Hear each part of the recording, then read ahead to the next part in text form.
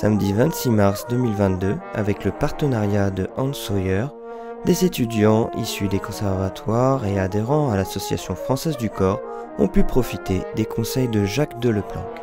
Il répond à nos questions. Une masterclass, c'est euh, avoir le privilège de faire travailler des grands étudiants en général.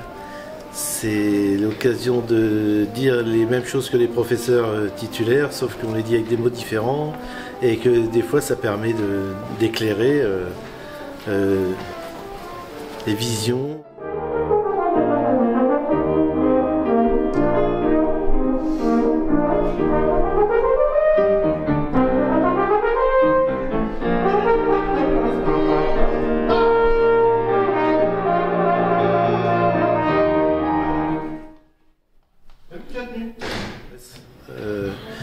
Donc euh, quand il y a du stress, il faut arriver à retrouver des bonnes sensations pour respirer, pour justement euh, calmer la machine et se dire qu'on est là pour faire surtout de la musique et non pas, j'ai envie de dire, pas avoir peur de rater. Quand on n'a pas peur de rater une note, en général on ne la rate pas.